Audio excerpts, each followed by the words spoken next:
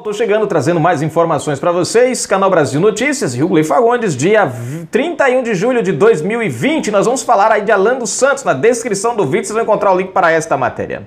Fora do país, seguro e bem informado, Alan dos Santos vira inesgotável fonte de denúncias. Cara, o STF. Vocês estão pensando, gente, que o STF vai sair dessa numa boa? O STF está começando a ruir. Os caras estão começando a meter os pés pelas mãos, cometer erros gravíssimos e estão dando muita munição para o pessoal daí do conservadorismo. Antes de mais nada, se inscreve, comenta, compartilha, deixa o seu like, aperte as notificações na descrição do vídeo, tem conta bancária. Se você curte nosso canal, gosta do nosso trabalho, seja um apoiador, seja um colaborador. Ver esquerdista comemorando a saída de Ana dos Santos do Brasil é a coisa mais controversa e burra que você verá em 2020. Primeiro, porque são os mesmos que choram diante dos relatos da ditadura e fazem filmes, músicas, livros e séries de TV contando as dores de ter que sair do seu país por denunciar o sistema. Quando eles conhecem a ditadura de verdade, não só nos filmes, simpatizam com ela é o que está acontecendo. A esquerda que hoje aplaude, ó, o Jean Willis saiu esses, né, do Brasil. Ai, eu, ai, meu Deus, eu fui, eu tô exilado do Brasil, você não sei que, perseguida política. Ai, meu Deus, aquela choradeira toda, aquela lamúria. Aí vem a ai, porque eu, né, exilado, bichinho, sai, aí teve que sair do Brasil. Presta atenção. Como eu falo para vocês, eles defendem a causa mas a causa só é válida dependendo de quem está envolvido nela. Hoje nós estamos vendo pessoas sendo praticamente expulsas do país por perseguição. E cadê o, o, os palanques da esquerda para brigarem contra ações arbitrárias? Para falarem do exílio, da perseguição. Aí nós estamos vendo uma pessoa. Abraão Ventralbe teve que sair do Brasil. Agora Alan dos Santos o Willis saiu porque quis. Ele comprou a passagemzinha dele, pegou os paninhos de bunda dele, perna pra que te quer e foi-se embora. Ninguém botou ele pra correr daqui. Ninguém tava ameaçando ele. Aquele papinho de, ai, porque estão querendo me matar, me matar. Aquilo ali foi uma desculpa, gente. Um vitimismo, um papifa. No mínimo controverso. Já a parte da burrice fica por conta da incapacidade de perceber do que o Ala dos Santos se tornou. Ou seja, acharam que mandaram o cara para fora, adeus Amélia, acabaram com o menino? Agora, é, vamos lá. Fora do país, agora fora do país, seguro, muito bem informado e com liberdade de expressão suficiente para derrubar governadores, prefeitos e até um presidente.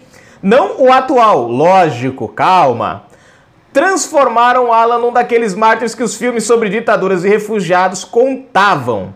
O moldaram como um líder que surgirá raras vezes trazendo a verdade absoluta que todos precisam.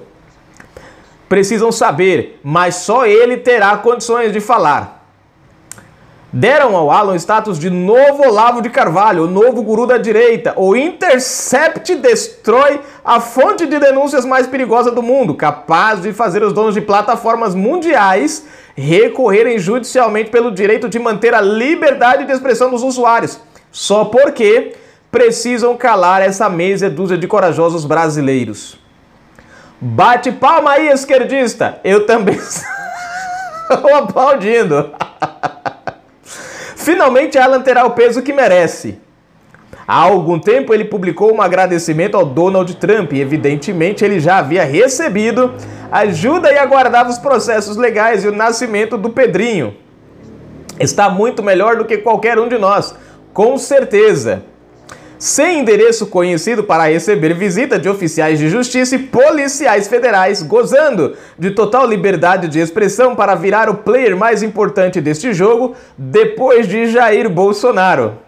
Alan trará denúncias, credibilidade e votos para quem ele escolher. Os vídeos de Alan podem ficar 10 minutos no ar e cair, não tem problema.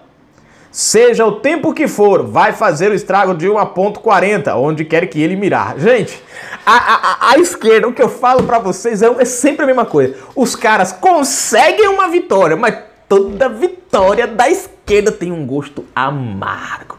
Desce rasgando. Quando desce, ainda faz mal no estombo. Ai, quer mais um motivo para bater palminha? Isso abrirá portas para outros perseguidos saírem do país, denunciarem o que está acontecendo aqui e contarem nossa história real com total liberdade e coragem. Em resumo, a esquerda pariu seus heróis de ditadura e alimentou os da direita. Bate palminha! Ah, tá aqui a matéria, gente. Presta atenção. Vamos, vamos, vamos, vamos aqui a, a matéria. Presta atenção. Nós estamos vivendo hoje no Brasil o que a esquerda, o que a esquerda culpa o governo militar. Presta atenção. A esquerda comunista queria trazer para o Brasil a ditadura do proletariado. Pesquisa o que é a ditadura do proletariado. Você que às vezes compra a narrativa do Lula, da Glaze Hoffman, do Paulo Pimenta, do, fa, do, do farofinha lá do Lindenberg Farias, da, da, da, da, da, da Manuela Dávila e pessoal do pessoal, PC do B, Rei. Você se compra essas narrativas, vai na internet pesquisa assim, ó. ditadura do proletariado. Pesquisa lá que vocês vão descobrir o que é a ditadura do proletariado. Era isso que eles defendiam naquela época contra os militares. Eles queriam, eles, eles falavam em ditadura. Eu já expliquei para vocês aqui que ditadura é a tomada do poder à força e a não devolução desse poder. Cuba, Fidel Castro tomou conta de Cuba com a ideia, a promessa de quê? De fazer eleições. O cara viveu até bater as bielas lá. Até bater as bielas ele, ele ficou lá. Não, não teve eleição para sucedê-lo. Tomou conta. Você pega a história do Kim Jong, por exemplo, na, na, na Coreia do Norte, a mesma coisinha.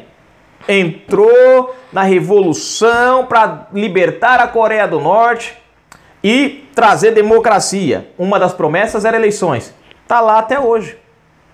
Tá lá até hoje. Ninguém. E, e, é, veio o, o, o, bisavô, o avô, ele, o pai, não sei quem, vai vir os filhos dele, e assim por sucessivamente. E assim sucessivamente. Né? Isso era o que é, é, é ditadura. Agora, nós tínhamos um regime militar. O que, que é o regime militar? É um regime, né? Que assume o poder em um momento de crise para impor a ordem, equilibrar as coisas, é, é, dar um fim na pilantragem que estava ressurgindo e devolver, como fez em, em, ali no final dos anos, no começo dos anos 80 a transição, em 86 ali tal, para 88 veio a eleição e pá, Fernando Collor assumiu. E aí a gente viu a desgraça que o Brasil virou depois que Collor tomou conta e de lá para cá é só ladeira abaixo né? Eu nunca vi dizer que um governo opressor faz um país crescer economicamente, traz educação, traz saúde, porque nós... mas enfim.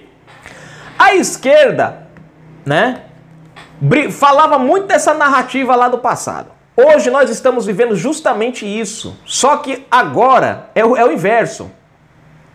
Ao invés de perseguirem os comunistas, os criminosos, os terroristas, né? Ao invés de ser os militares atrás da bandidagem, agora são, a, é, é, é, é, são os, os bandidos atrás da sociedade. Naquela época, os militares não andavam atrás de cidadão, cidadãos de bem. Né? Hoje, o STF está perseguindo pessoas em, em, em, nome de uma tal liberdade de expressão. Como é que é isso, Glee? Usam a liberdade de expressão. Usam a tal da fake news, o raio que o parta. O que, que eles fazem? Perseguem essas pessoas que estão lutando pelo direito conquistado. Um direito que, graças aos militares, nós não perdemos. Graças ao. Eles per... Aí o que, que acontece? A esquerda hoje está batendo palma para isso. Eles acusaram os governos militares de perseguir eles, ó, terroristas. Tivemos explosões em aeroportos, cargas roubadas um monte de coisa né?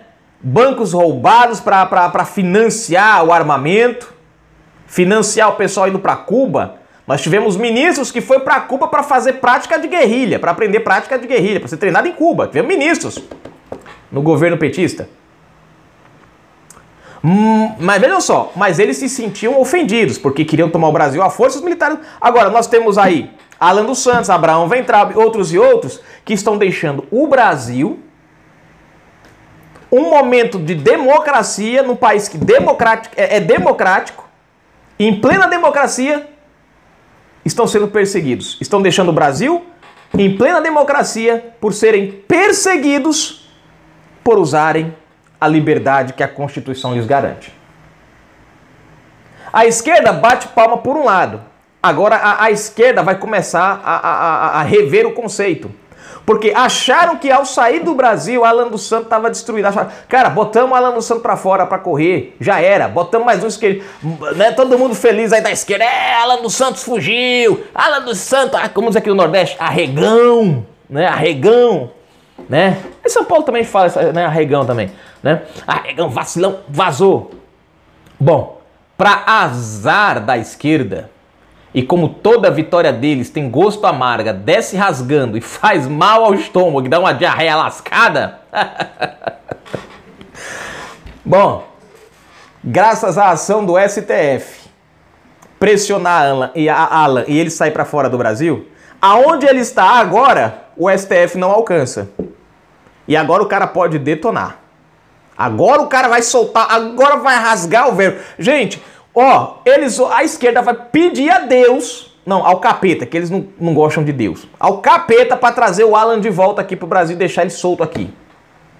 Porque mais vantajoso era o Alan dos Santos aqui livre do que o Alan dos Santos lá fugido nos Estados Unidos, onde ele está agora. Não sei se ele está nos Estados Unidos, mas acho que está lá nos Estados Unidos, né? Quer dizer, pra, esquerda foi pior colocar o Alan para correr.